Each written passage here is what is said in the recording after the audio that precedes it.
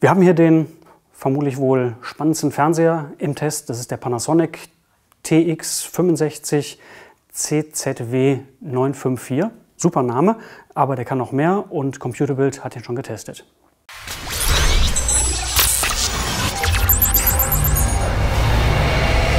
Ja, hier der neue Panasonic gehört zur seltenen Spezies der OLED-Fernseher.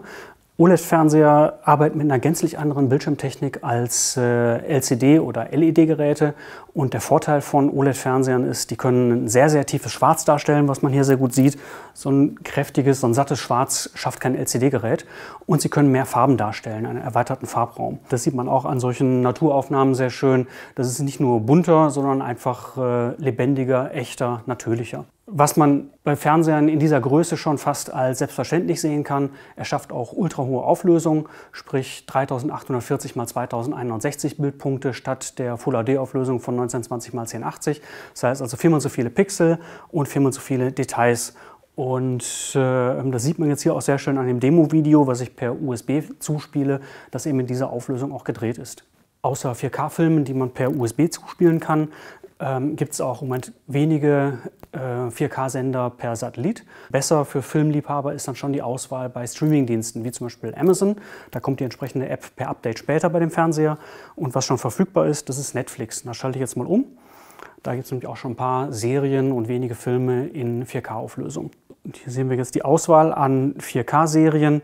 Ähm, Narcos, was ganz aktuelles, Breaking Bad, kennt man inzwischen vielleicht. Marco Polo auch in 4K verfügbar.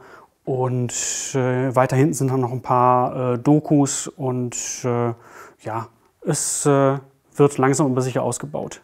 Und so sieht dann echtes 4K aus. Und das ist also tatsächlich schon heute verfügbar. Und äh, mit solchen Inhalten zeigt der Panasonic schon mal einen Großteil seiner Stärken. Noch besser wird es dann Anfang kommendes Jahres, wenn auch ähm, 4K-Filme auf Blu-ray verfügbar sein werden.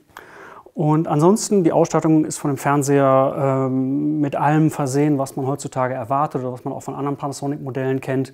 Sprich, Empfangsteile sind jeweils doppelt eingebaut, dass man aufnehmen kann und was anderes sich anschauen kann. Ähm, man kann ähm, Videoinhalte auf ein Tablet streamen, also da ist die, die äh, äh, Vielfalt sehr, sehr groß. Ein bisschen bizarr ist, ähm, dass äh, der Panasonic-Fernseher in den Menüs ähm, ich zeige das mal hier zum Beispiel bei den Apps, aussieht wie Panasonic-Fernseher von 2014, während die 2015er Modelle so ein ähm, Firefox Startscreen haben, ähm, sieht der hier noch ein bisschen ja, wie gestern aus, ändert aber funktional nichts. Ähm, die Auswahl an Apps ist praktisch genauso groß. Ähm, man hat nur nicht den schönen Startscreen, aber ansonsten stört es eigentlich nicht weiter. Ja, und jetzt kommen wir zum absoluten Highlight des äh, Panasonic, das ist nämlich die Rückseite. Die ist wunderschön flauschig mit Alcantara tapeziert und so dass der Fernseher auch von hinten gut aussieht. Also diese Blende deckt äh, die Anschlüsse und die Kabel ab. Ich kann es mal zeigen, dass das ganze Gestrüpp ähm, schön gebündelt werden kann und dann ordentlich in einem Schlauch unterm Fernseher rausführt. Und ansonsten sieht das halt sehr sieht das dann sehr clean aus. So kann man den frei in den Raum stellen, in seinem Loft zum Beispiel. Und äh, sowas wie ein Loft oder zumindest ein Wohnzimmer mit 50, 80, 100 Quadratmetern werden sich die Kunden wohl auch leisten können, die äh, sich so einen Fernseher leisten, nämlich der kostet schlanke 10.000 Euro. Ja, in puncto Bildqualität gibt es bei dem Panasonic äh, tatsächlich wenig zu kritisieren. Der gehört da zweifellos zu den besten Fernsehern, die man derzeit für Geld und gute Worte bekommen kann. Ähm, Ausstattung auch weitgehend komplett. Die äh, App für Amazon Prime Instant Video fehlt noch. Die soll Anfang Oktober nachgeliefert werden. Und äh, ansonsten muss man sagen, funktioniert einfach sehr, sehr gut das Teil. Ähm, einziges Manko bleibt halt äh, der Preis. 10.000 Euro sind ziemlich abgefahren.